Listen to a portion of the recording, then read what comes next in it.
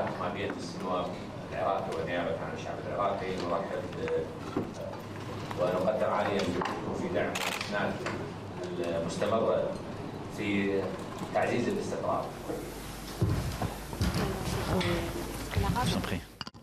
Il y a des discussions qui se sont entamées avec les talibans sur le sujet des opérations humanitaires et de la capacité à protéger et rapatrier des Afghanes et des Afghans qui sont en risque.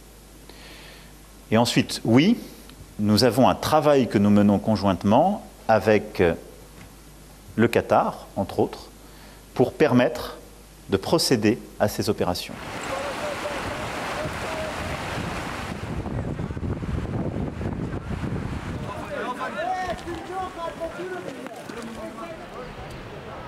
Bravo, 50